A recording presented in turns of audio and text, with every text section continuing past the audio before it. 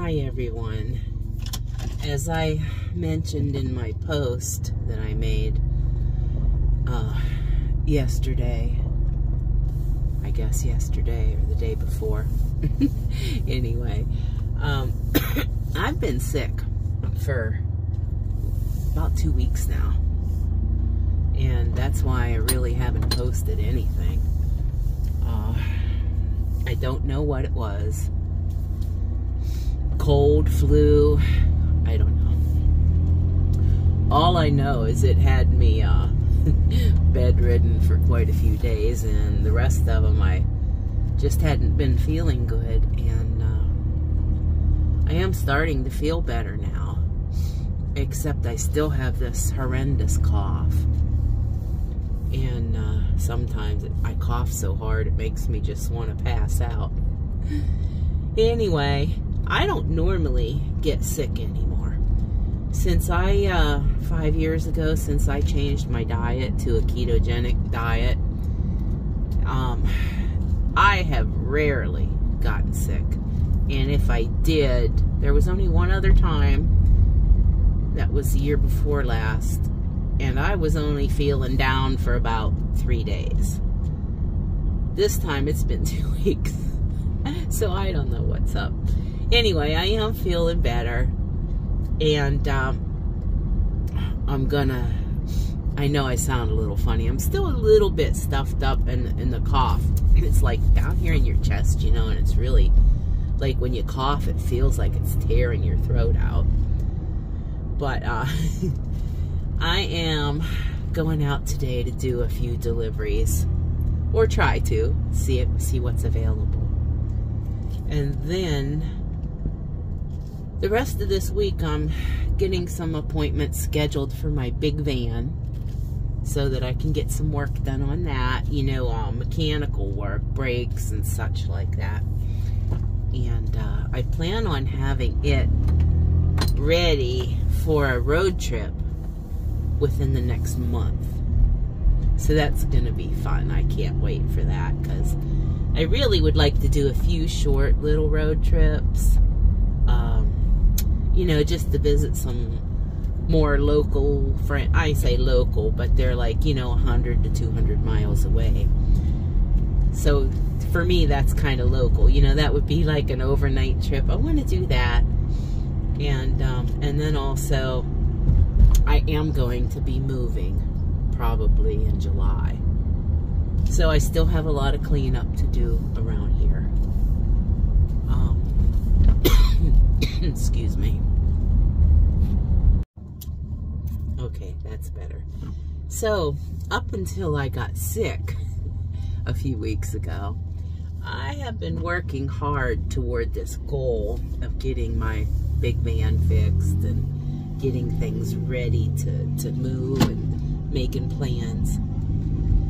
So, I, uh, one of the things I'm going to do is build that new bed platform in, in the turtle top van, like I talked about on my last video about that. And I'm going to just custom build dog crates underneath the bed. And I'm thinking I want to get started on that within the next week, so I'll be making a video about that too. So, I'm going to sign off for now. I'll be back with you in another little while, maybe a day. I don't know when. But I'll give you an update on things. I think I'm going to go hit the uh, Goodwill store and see what I can find in there while I'm waiting for a delivery to pop up on my app. So I hope that you guys all have a really, really nice day. It's a beautiful day here in Pennsylvania. I hope you guys are having a nice day. Thank you so much for watching and I will talk again with you soon.